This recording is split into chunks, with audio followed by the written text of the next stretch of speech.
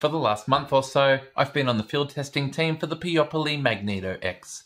This is truly something different in 3D printing, so let's check it out in detail and see how it's improved ahead of launch.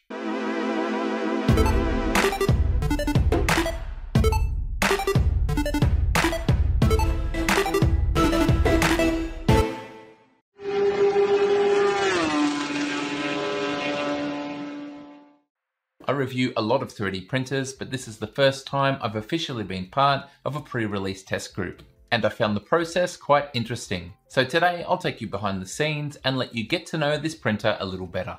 Like many of you, I first heard about the Magneto X in a 3D printing nerd video where Joel interviewed Mark, co-founder of Peopoly, as he demonstrated an early prototype of the Magneto X. Since then, videos have been released on Peopoly's official YouTube channel, but these are only teasers. To find out more details, the best thing you can do is come to the pre-order page on the Peopoly website. As we can see, the price is $2,000 US, which makes it one of the more expensive 3D printers available, but it is quite unique, so watch this whole video before you decide. Previously there was a pre-order program, that's now finished, but in the future this printer will be for sale for real. The big difference between this and other 3D printers is that it has linear motors. These replace stepper motors and that means we don't need any pulleys or belts. Another benefit of this is that it provides closed loop control, so there should be no layer skips or layer drift. The motors are also powerful, capable of running the printer at 800mm per second with an acceleration of 22,000mm per second per second. To match the fast XY speed, the extrusion system called Lancer has a peak flow rate of 60 millimeters cubed per second. And to complement that, we have a comprehensive part cooling solution, which is vital for printing PLA fast. Lancer also has a load cell for nozzle to bed auto bed leveling. Other more common features are a removable flexible build sheet and four independently controlled stepper motors for the Z-axis with quad gantry leveling. What really got me excited about this is that all of the software is open source, adopting Orca Slicer as well as Klipper for the firmware Therefore, we get things like input shaping, the web interface, and there's an inbuilt webcam for the video feed. Also part of this ecosystem is a 7-inch touchscreen running Klipper Screen. And for those that want to print high temp filaments, you can optionally pay to add on an enclosure. So here's how it went down. Peopoly contacted me and asked me to be part of the field testing team. I received the printer for free so I could help with that. I was given a list of things they wanted me to specifically check, and of course I was free to give feedback and advice on any other things that I noticed. Originally, there was no expectation of me making a video, so everything I filmed was just to give them feedback, but Peopoly are happy for me to show you my experience, so here we are. We start off with unboxing, and Peopoly were keen to get feedback on whether the printers were arriving in good shape. And one thing to know about this printer is that it's 30 kilograms, which makes it difficult to lift out the top, so to help with this, I ended up cutting off the sides of the box for access. My first piece of feedback is that a box like the Prusa XL would be really good here. Next up, unpacking all of the protective foam from around the machine. I understand why it's there, but hopefully this can be drastically cut down for future versions. Apparently some of the units had suffered bending of some of the metal components during shipping. The packaging is being changed to address this, but fortunately in my case, this printer was in great condition. Assembly is really easy, there's a spool holder to bolt on at the left rear, and then that 7 inch touchscreen gets bolted to the front right where we plug in two cables.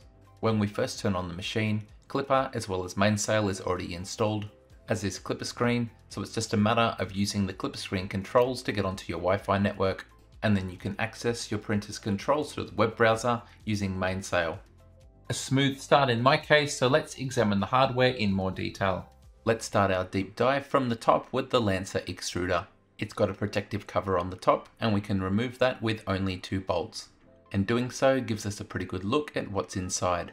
This is direct drive with a lightweight stepper motor and we also have a lever that we can pull up to completely remove the pressure from the filament for manual insertion or removal. Here it is partially disassembled. We can see inside that it's dual drive and we can also see planetary gears to increase the torque output of that small stepper motor. We can also see that all components apart from the cover on top are machined metal.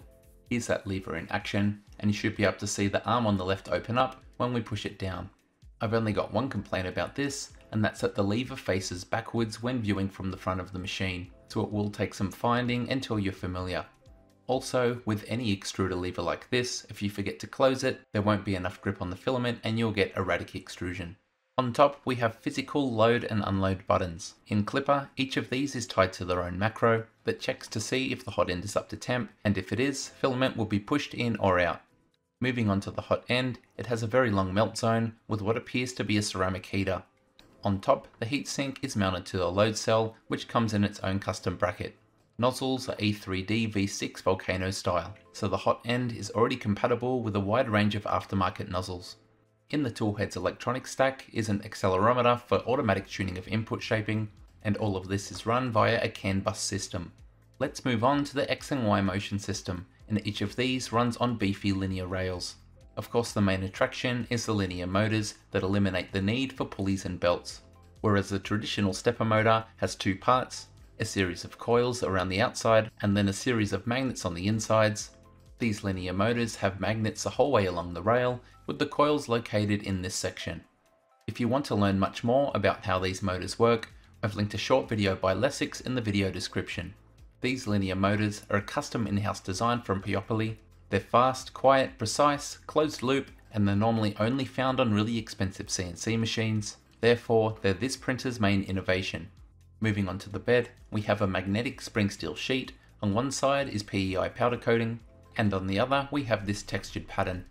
Each corner of the bed is independently controlled by its own stepper motor, and Klipper will level the four corners with its built-in quad gantry leveling.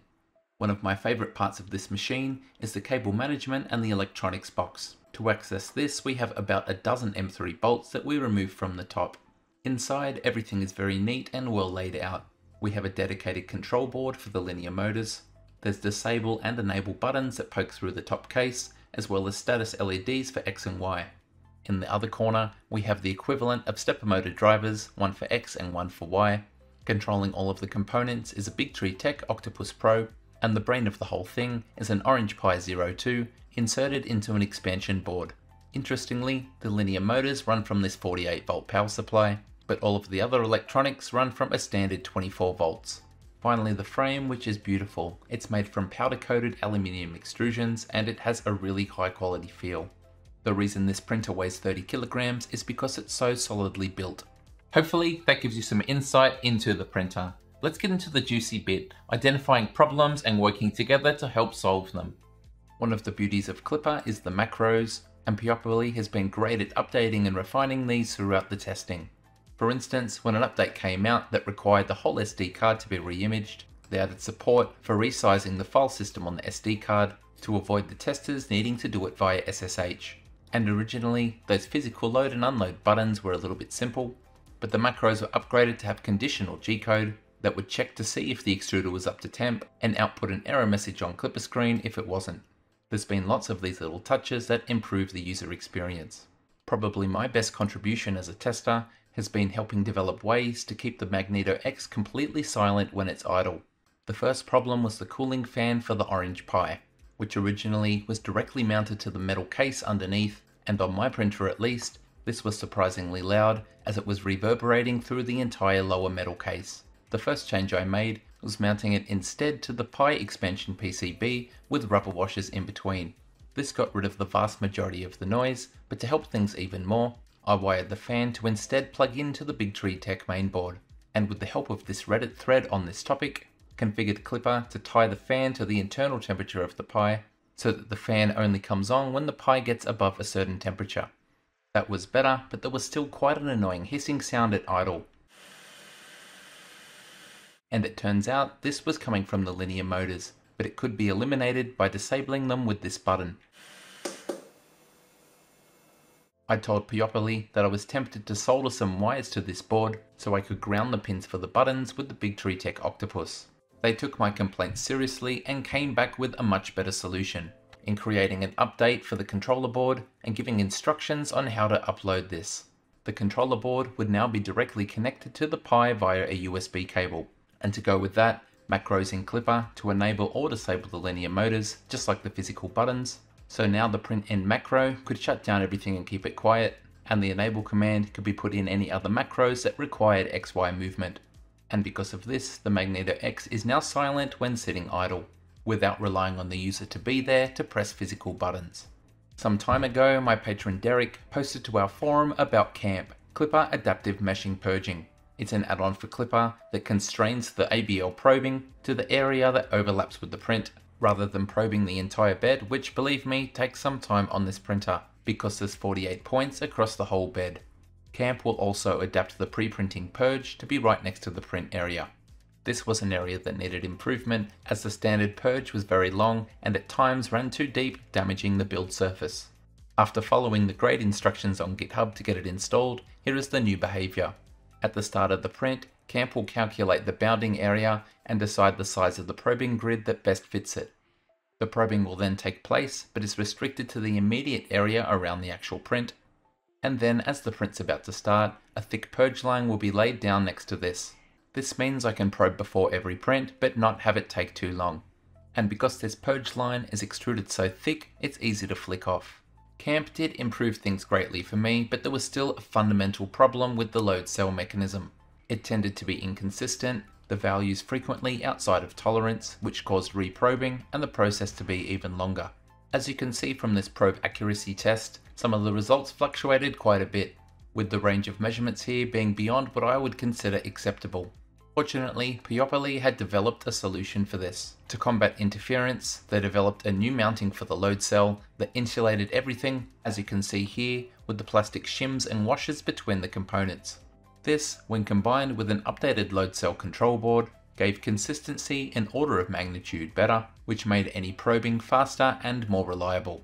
In case you haven't noticed, this is a behind the scenes video, not a review, so where to next? The truth is that so far I haven't done a whole lot of 3D printing here, and most of what I have done has been calibration prints, double checking things like pressure advance, flow rate, hot end temperature and retraction. This 3D Benchy was printed before any of that calibration, and I would still say it's almost blemish free. There's a tiny bit of drooping on the overhangs, and just the faintest bit of ghosting near the hole in the front. And this wavy vase looks incredible considering I forgot to lock the extruder. Besides PLA, I've had great success printing TPU with very smooth and consistent extrusion. But this is nowhere near enough for a review, so I'll be testing this machine thoroughly by following my review policy. That means testing a range of materials and all advertised features like filament runout. I'll also be testing the add-on enclosure, which I've recently been sent but have yet to install. With this large build volume and the ability to add thermistors and active chamber heating with Klipper, I'm hoping the Magneto X is a powerhouse for filaments that warp. Out of interest, I'm also planning to push things a lot harder and attempt a speed benchy. So what I need from you is to tell me in the comments what would you like to see tested that might be out of the ordinary or something explained that I haven't covered in this video. Doing so will help shape the review. Personally, I'm quite excited by this printer because of the balance I think it strikes. On one hand, we have a very polished appearance and high quality hardware just like a Bambu Lab X1, but then it's paired with well-known electronics and open source Klipper firmware for easy customization. For me, this is the bridge between newer appliance style 3D printers and a printer that can be upgraded and customized by its users in line with the RepRap movement. Plus, we have the added innovation of the linear motors. Let me know in the comments what you think so far. Thank you so much for watching, and until next time, happy 3D printing. G'day, it's Michael again. If you like the video, then please click like. If you want to see more content like this in future, click subscribe and make sure you click on the bell to receive every notification. If you really want to support the channel and see exclusive content, become a patron. Visit my Patreon page. See you next time.